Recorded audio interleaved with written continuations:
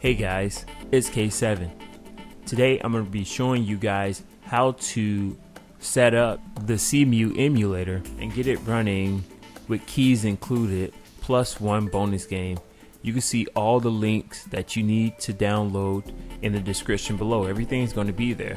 But right now I'm going to be showing you guys how to set this up and get it running for your first time users or those of you who haven't used simulator the emulator in a long time and just want to refresh. So let's get started.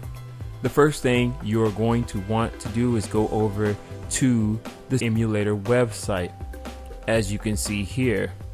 So you're going to download the latest version of the Cemu emulator. Once you download it, you can put it on the desktop or whatever. It doesn't matter where you put it just move it somewhere and then hit the extract button as you can see here. So right click on it and then hit extract. Once you extract the folder you'll get some files in here. As you can see you can see you got you got some files plus the Citra emulator. You want to click and start up the Citra emulator at least once. While you're while you're in the Citra emulator, you might as well set up your controls.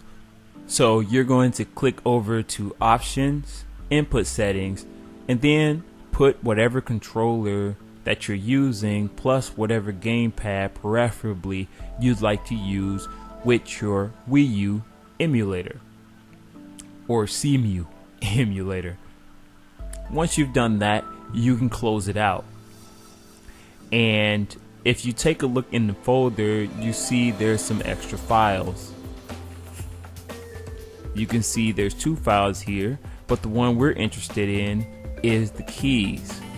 This is the place where you will be placing the game title keys for when you want to play a Cemu emulator game.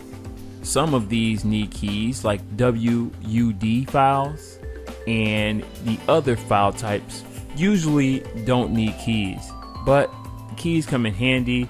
It allows you to play the game. Uh, if you do have a WUD file, most of them are. Those are the ones that work most of the time. But you need the keys to have it work. Sometimes it doesn't work, even with some games that don't require a key. So it's good to have the keys available so that you can play the game just in case it doesn't work. So here's an example of what the key should look like. You should have a common key and then you put the key that you put the key of your desired game within to the window here. Just type it in, type it out there and then you can put a hashtag or whatever it is on the side just just so that you can keep track of whatever the title may be so you know what key it is. In this example, you can see how I have mine set up. If you want this particular file, and just for example, or you want to use it, I'll also leave a link down in the description for this particular keynote. And there's some game keys already in there. Feel free to take that and use that for the games that are on that list. As you can see, there's not many, but you have that at least just in case you can't find those games on uh, the key list. So, secondly, while we're on the topic of keys, you're going to need keys. So, you're going to go over to this website right here, and this has a bunch of Wii U title keys.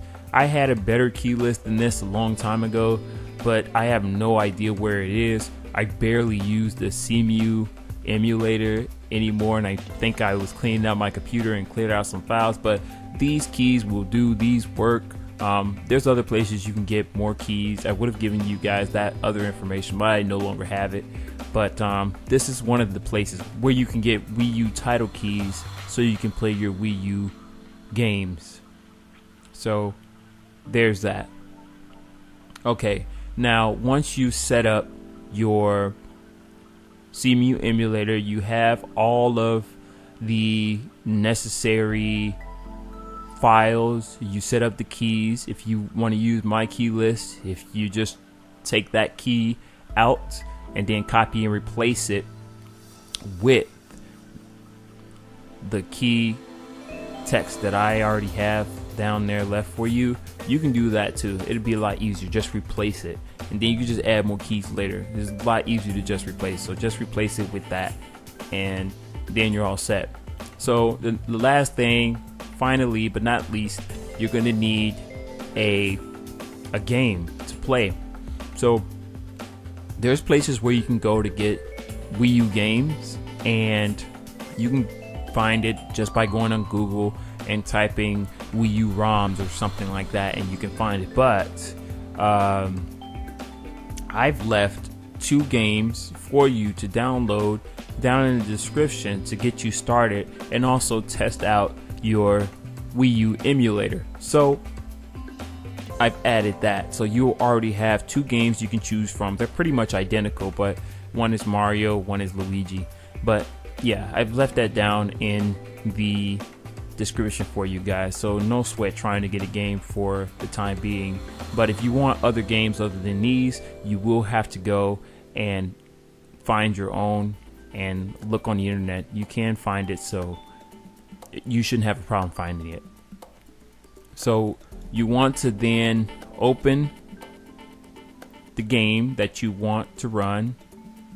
You're going to click up and open and locate wherever you may have saved your game once you've downloaded and then start it.